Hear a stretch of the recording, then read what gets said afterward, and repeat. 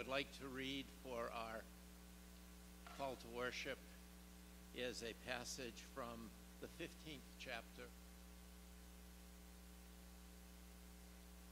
Passage, uh, this pa-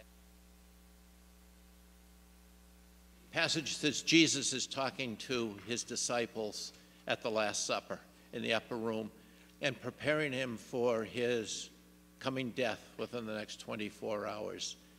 And he is encouraging, telling his disciples uh, that he is going to be with them. So we'll read through this. But it was written not just for the disciples back then, but it was uh, read for our hearing. And it speaks of a grapevine. If you don't know how a grapevine works, it has a core of a big uh, uh, branch or a big uh, cane that comes off the root and the, conveys all of the energy from the root up the cane. But grapes don't grow on the cane. They grow on little branches that come off the cane, and then they have these uh, clusters of grapes. So, this is the imagery that uh, Jesus is using in this passage. Let us listen. I am the true vine, and my Father is the gardener. Every branch in me that does not bear fruit, he takes away. And every branch that does bear fruit, he prunes so that it may bear more fruit. Already you are clean because of the word that I have spoken to you. Stay connected to me, and I in you. As the branch cannot bear fruit by itself unless it stays connected to the vine, neither can you unless you stay connected to me. I am the vine, and you are the branches. Whoever stays connected to me, and I in him, he it is that bears much fruit. For apart from me, you can do nothing. If anyone does not abide in me, and he is, uh, if anyone does not abide in me, he is thrown away like a branch and withers, and the branches are gathered up and thrown into the fire and burned. But if you abide or stay or stay connected to me, and my words stay in you, Ask whatever you wish, and it will done, be done for you by my Father. By this my Father is glorified, that you bear much fruit, and so prove to be my disciples. As the Father has loved me, so I have loved you. Abide or remain or stay connected to my love. If you keep my commandments, you will stay connected to my love, just as I have kept my Father's commandments and stay connected to his love. These things I have spoken to you, that your joy may, that my joy may be in you, just like the sap from the vine, that my joy may be in you, and that your joy may be full. You're full from the energy from Jesus. This is my commandment that you love one another as I have loved you. Greater love has no one than this, that someone lay down his life for his friends. And you are my friends. Um, if you do what I command you, no longer do I call you servants, for the servant does not know what his master is doing, but I have called you friends. Um, I have called you friends, for all that I have heard from my Father I have made known to you. You did not choose me, but I chose you and appointed you that you should go out and bear fruit, and that your fruit should stay, so that whatever you ask in my Father's name, he may give it to you. These things I command you, that you love one another as I have loved you. This is the word of the Lord. Let us pray. O Lord, our Lord, How excellent is your name in all of the earth. The world is full of trouble. It is full of evil. It is full of hate. It is full of many things that do not please you. But you have called us out of the world. You have called, called us to remain in your love. You have called us to bear the fruit that you would have from us fruit of righteousness, fruit of holiness, that people may see this and turn to you. Lord, be with us this afternoon.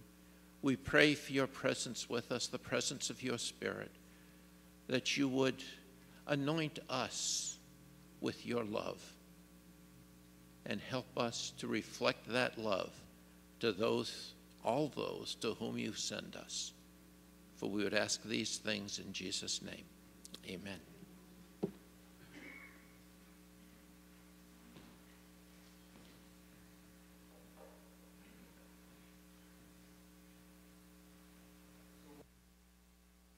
Welcome, everyone. I see some faces that we haven't seen in a while, some for months, and some for years, 어머님, and some just the other day. So welcome, everyone. Um, David and I have actually been away, and several of us have been away in St. Louis for our uh, 국제선 선교회 uh, 연, uh, 수련회, or our uh, NAICFM National Conference. And it was a really spirit-filled uh, time of healing and of praying and of worshiping the Lord.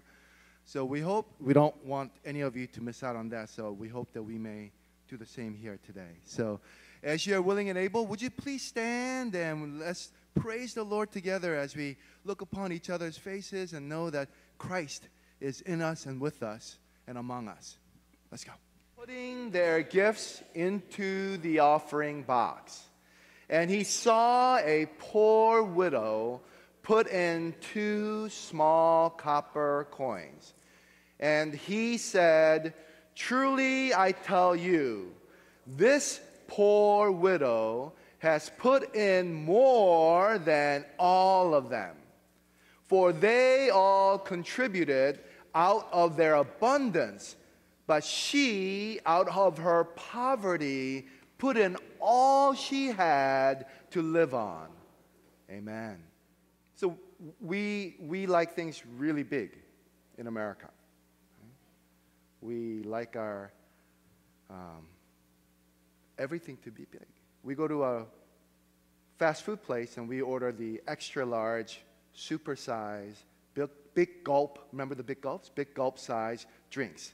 And if you go to Richardson's ice cream, nobody orders the kitty size or the extra small, they order the two, three scoop giant monstrosity that is ice cream, right? We love eight passenger Chevy Suburbans for our family, not the Honda Fit where we could barely fit it. A lot of you ladies love your men big and tall and strong. We love to win the $500 million Powerball lottery ticket we don't really care about those little scratch tickets for free french fries or chicken nuggets, do we? That's tiny. We want to have a big house, a big lawn, big career, big power, big respect, big money. We want to make big changes. We want big miracles. We want to see thousands healed, thousands saved, Red Sea split open, we want them big. And we are really impressed when we hear that so and so gave big. Hundreds, thousands, millions to charity or to mission or maybe to church, right? We tend to judge the quality and value and character of a person by the size of his or her giving. In today's passage, Jesus, interestingly, watched the rich put large amounts into the offering basket. Perhaps there were hundreds or thousands of dollars worth of offering into the offering basket. But Jesus proclaims that that poor widow has given more than any of them with her two copper coins, two small copper coins. So today we learn that God doesn't want hundreds of dollars from you. He wants 100% of you. God doesn't want hundreds of dollars from you. He wants 100% of you. 우리말은 주는 당신의 100불짜리들을 원하는 것이 아니라 당신의 100%를 원합니다. So I'd like to talk about what God wants from us in three ways. Number one, it's not how many dollars, but how much of your heart, how much of our hearts that we give to God. It's not about how much dollars, but how much of our hearts that we give to God. 우리가 몇 불 주께 드리나 아니라 우리 마음을 얼마큼 주께 드리나입니다. Number two. Rich in money is not the same as rich in peace. Rich in money is not the same as rich in peace. 돈 부자라고 마음 부자 아닙니다. And number three, be rich in peace by being rich in the Spirit. Be rich in peace by being rich in the Spirit. 성령 안에 마음 부자 되십시오. Amen. So point number one, it's not how many dollars, but how much of our hearts that we give to God that matters. Now, two copper coins in Greek, lepta duo, could be like two pennies. So she said two small copper coins, right? It could be like two pennies in that these pennies are made out of copper. However, two cents actually had more value long ago, much more than now. You can't do anything with these, but a long time ago they actually they actually had value we probably estimate that two copper coins was probably an equivalent of about $2. $2 today. See? One, $2. But even with $2 today, what can you really buy? What can you buy with $2? My son, Caleb, uh, he loves going to Burger King every Sunday morning with me before we come to church. It's, I know it sounds like a bribe, but this is how we spend quality time together, me and my son. He always wants to go to Burger King and have his Whopper for breakfast. Uh, so I looked up if I didn't have enough money, what could I buy my son at Burger King? So I looked up the value meal, the value menu, to see what I can get for $2.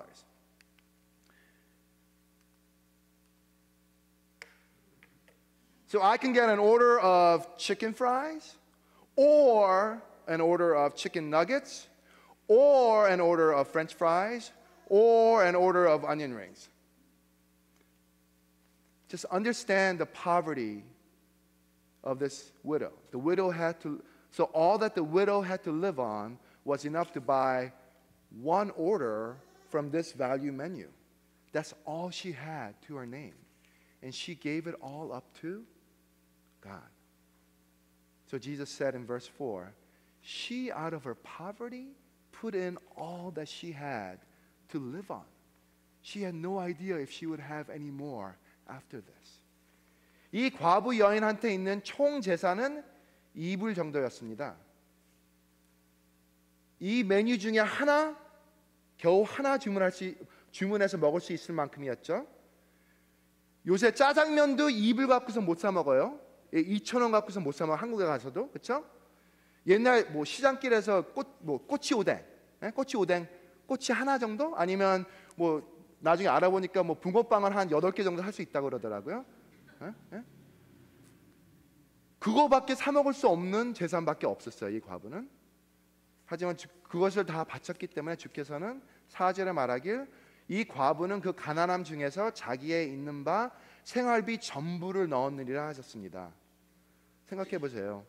우리 은행에 우리 지갑에 2불밖에 없었다면 아니면 20불밖에 없었다면 아니 200불이라도 있었다면 이 과부처럼 죽게 다 맡길 수 있을까요? 아니 2불이라도 맡길 수 있을까요?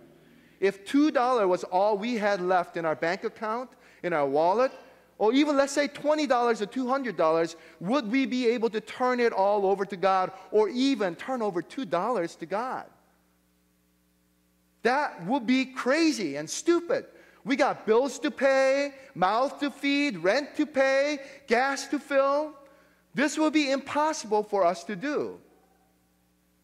But what is a miracle? It is when the impossible becomes possible. It is when the impossible actually happens. So this widow gave all that she had to God when she basically had nothing else left other than this. She gave 100% of herself to God because she loved and trusted God 100%. That's truly a miracle. Not a two cent miracle or a two dollar miracle or a value menu miracle, but a big, supersized, big gulp sized miracle. 이것이 정말 귀하고 기적인 거 아닙니까? 작은 기적이 아니라 큰 기적. Jesus wasn't impressed with how many dollars she was giving. He was impressed with how completely she trusted God. Now, you don't have to admit it, but I know some of you guys have played poker, right?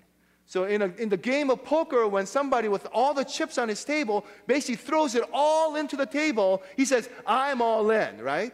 I'm all in because he trusts the hand, the deck, the cards that he's been handed out. He's absolutely convicted and confident, and he trusts these cards that he's going to win. So he puts all of his chips in, 100%, all in. And that is what this widow is doing today. The widow was all in with God, 100% with God. Where has she found such strength and faith to do such a wondrous thing? How was she able to give so richly toward God when she was so poor? Because she was rich in peace. Number two, rich in money is not the same as rich in peace. Rich in money is not the same as rich in peace. So, what about all the rich people who were putting their gifts into the offering box according to verse 1? Well, it's pretty safe to assume that their gifts and offerings were much more than two copper coins, or two pennies, or two dollars. Melinda and Bill Gates, you know, of Microsoft software.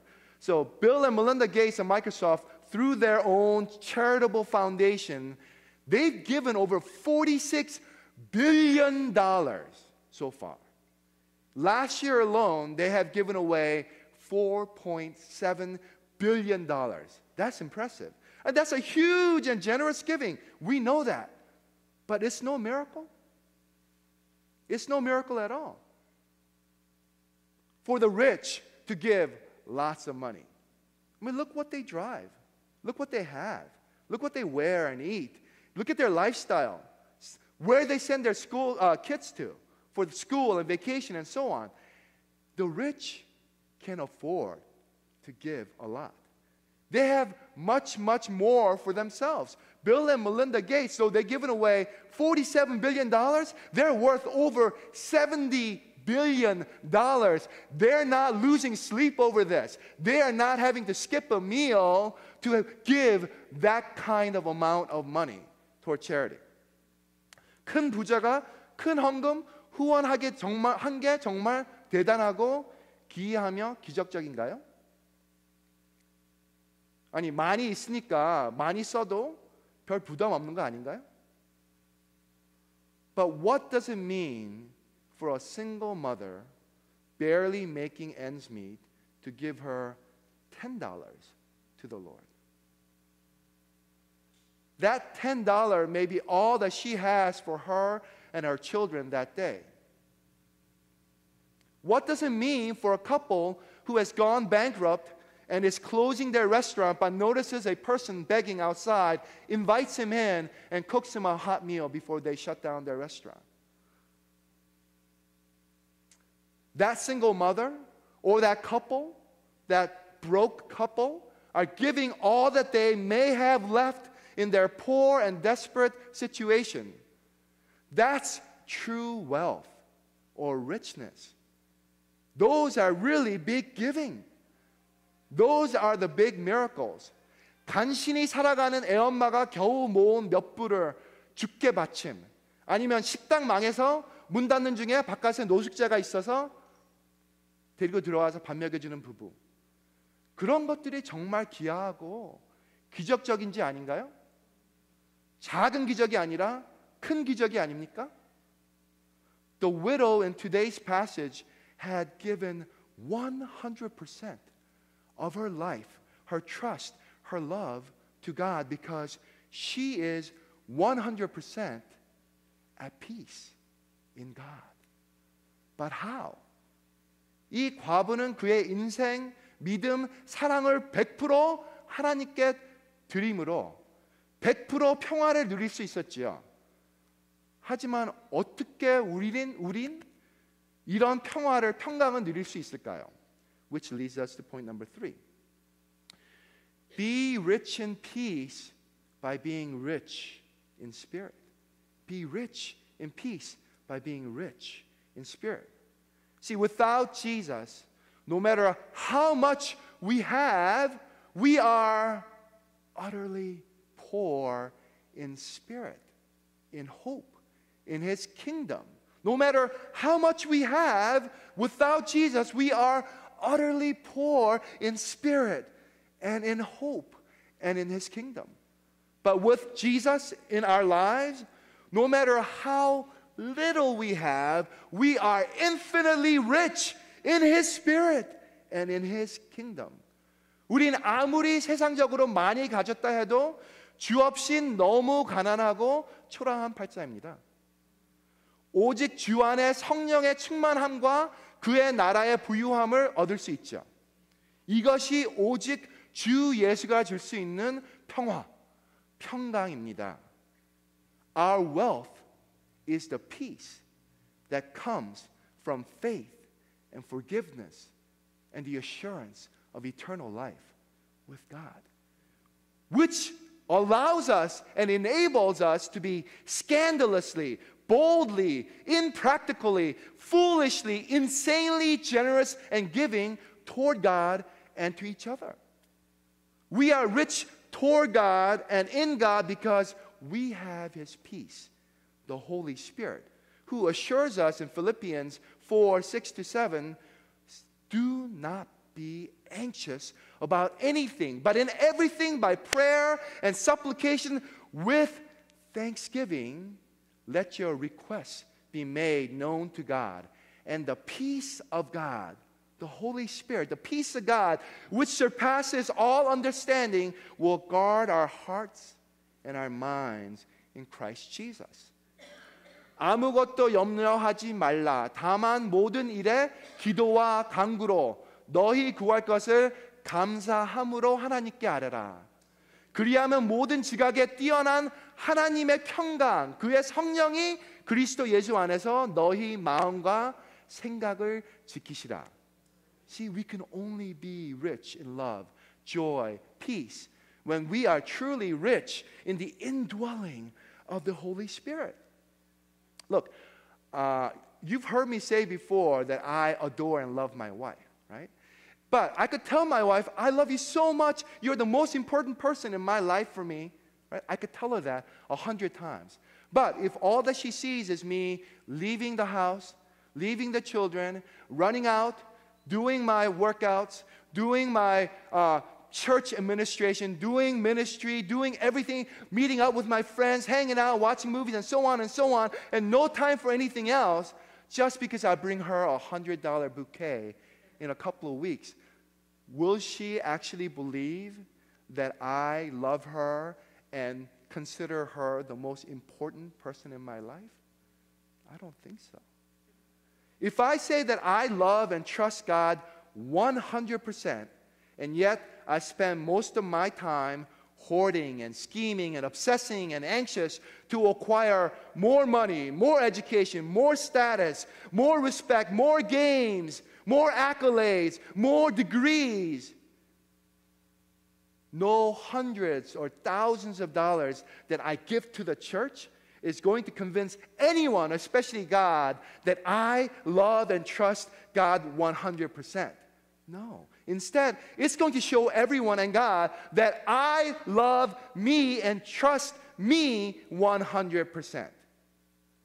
Which means that I do not have his peace. I am not rich in peace. I am poor in spirit.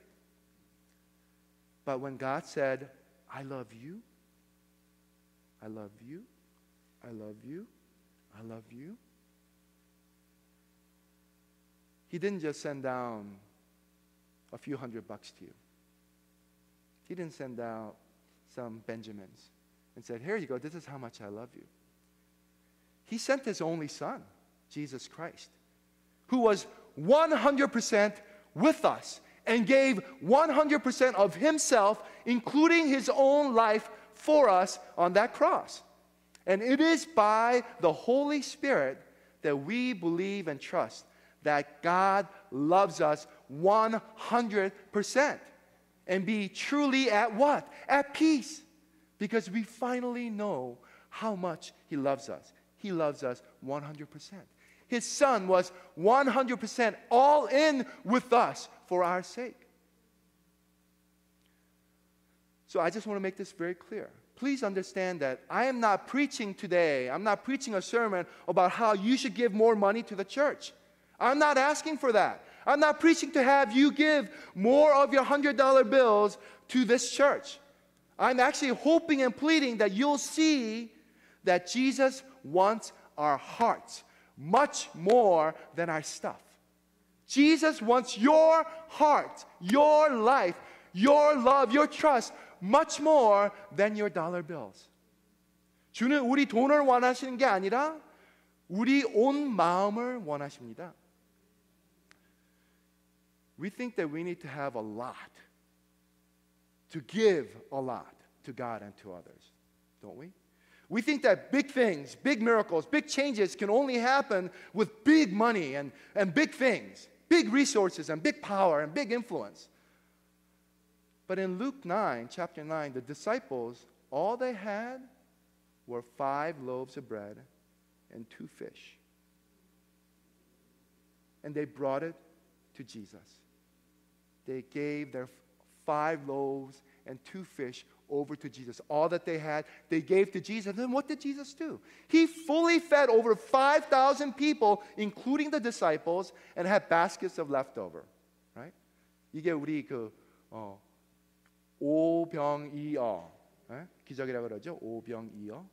제자들이 오 오병 그 빵 그리고 이어 그러니까 이 생선 두 마리 예? 그거밖에 없었습니다. 하지만 그게 다인, 다인 걸 갖다 하나님한테 바치니까 어떻게 됐어요? 5천 명 넘게 다 배부르게 먹었잖아요. 배, 배부 르게 먹고 얼마나 많이 남았으면 아마 싸, 싸갔을 거예요. 한국 사람들이었으면 그렇죠? 다 싸, 싸갔겠죠? Right? Right? So the disciples, all they had were five loaves and two fish. But when they trust Jesus and give it over to Him, He can do, and He did do great things. So Jesus asked today, What do you have right now? Five loaves, two fish, two copper coins, two dollar bills, or a messed up and broken life and relationship, a messed up family, poverty, brokenness, addiction, whatever you have, bring it to me. Give it up to me, all of it, trust me. For I am more than able and willing to take whatever little that you have to redeem them and do great and miraculous things. You will see. The question is which do you trust? Your own stuff or me? Are you 100% all in with me? Do you love and trust me with 100% of your life? You know, we pray a lot. And to be honest, we're always praying for miracles. Please heal me. Please help my son, my daughter, my husband, my, my marriage. We ask for miracles all the time. Do you want to pray for truly a big miracle? let's pray that God would grant us faith like this widow To love and trust God 100% with our lives and our hearts. 우리가 기적들을 원합니까? 우리가 기적들을 갖다 기도 안에 구할 바에는 정말 큰 기적 위에 기도합시다. 이 과부처럼 100% 주를 사랑하고 믿을 수 있게 해달라고 기도합시다. Because God doesn't want hundreds of dollars from you. He wants 100% of you. Let us pray.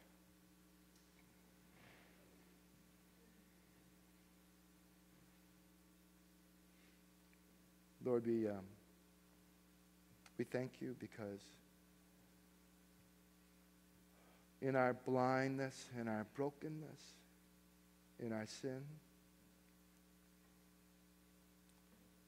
we still cannot and could not see how much you loved us, not just in words, but in everything that you had, including your Son. Lord, O Holy Spirit, open our eyes. Truly heal us, not just of our physical sickness, but the sickness of our sins that still get in the way of us seeing your love and your grace and your mercy. We thank you and we pray all this in your Son, Jesus' name.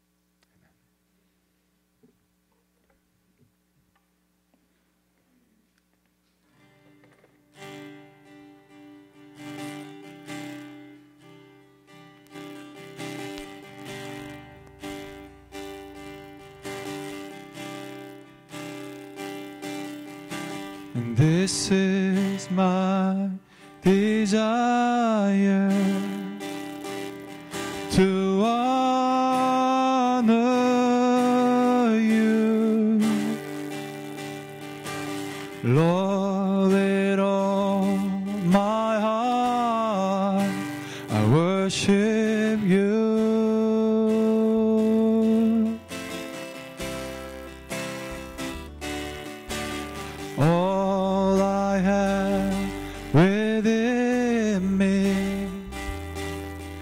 I give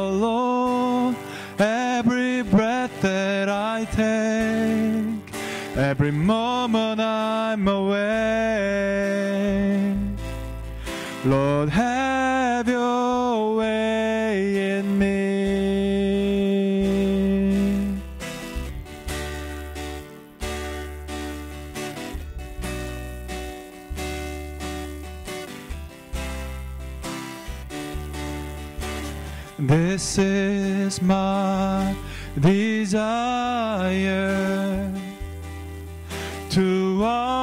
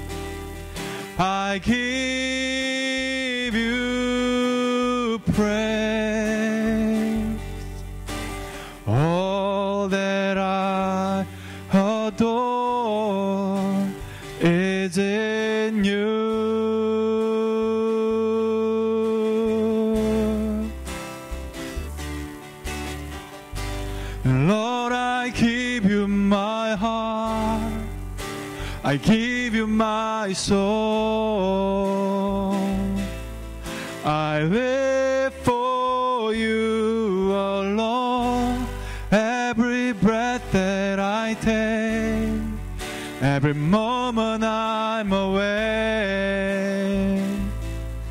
Lord, have your way in me. Lord, I give you my heart. I give you my soul. I live for you alone. Every breath that I take, every moment